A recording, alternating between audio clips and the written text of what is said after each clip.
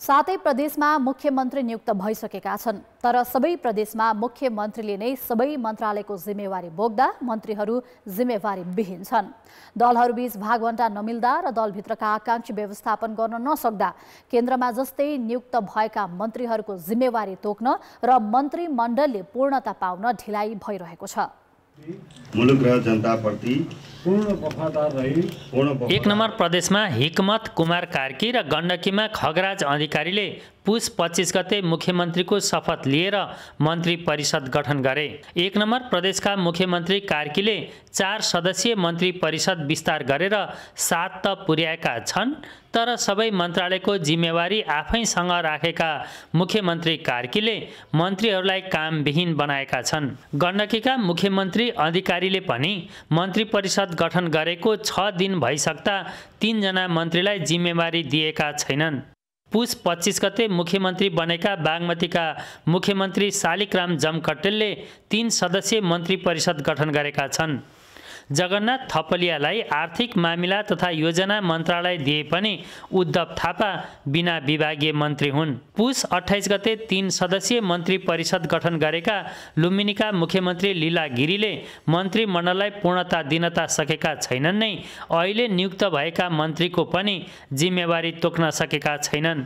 कर्णालीका मुख्यमन्त्री राजकुमार शर्माले चार सदस्यीय र सुदूरपश्चिमका मुख्यमन्त्री राजेन्द्र सिंह रावलले पुस अठाइस गते तीन सदस्यीय मन्त्री परिषद गठन गरेका छन्।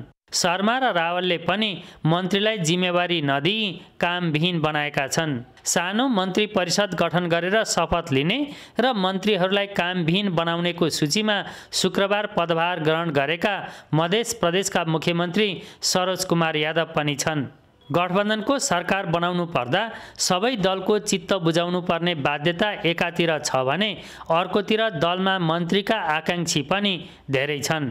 केन्द्रमै भागभण्डाको अलमल हुँदा त्यो रोग प्रदेशमा पनि सरेको हो। त्यसै गरी जिम्मेवार राजनीतिक दलहरू जो गठबन्धनमा आबद्ध छन् उनीहरूले तत्कालै जनतालाई सेवा प्रवाह दिनको लागि कम्तीमा मन्त्री परिषदलाई जिम्मेवारीसहित पूर्णता दिनुपर्ने र उनीहरू तुरुन्तै आजका आजै जनताको सेवामा समस्यामा क्रियाशील हुनुपर्ने टड्का र देखिन्छ।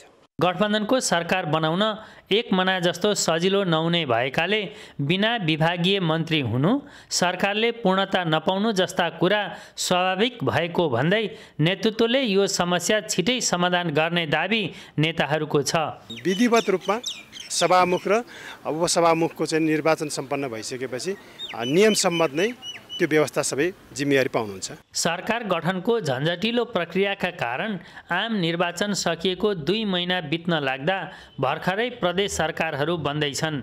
सरकारलाई पूर्णता दिएर कार्य सम्पादनलाई सरल सहज र चुस्त बनाई सेवा प्रवाहमा सुधार ल्याउनु पर्नेमा प्रदेश सरकार गठन त भए तर न मन्त्रीले जिम्मेवारी पाएका छन् न त मन्त्री परिषदले नै पूर्णता पाएको छ। यसले आलोचकहरूलाई झन आलोचना गर्ने बाटो खोलिदिएको छ। कान्तिपुर समाचारका लागि क्यामेरामा शम्भु पोखरेलका साथ सुजन पुडासैनी भूपाल गुरुङ र महाप्रसाद खतिवडा विराटनगर मोरङ।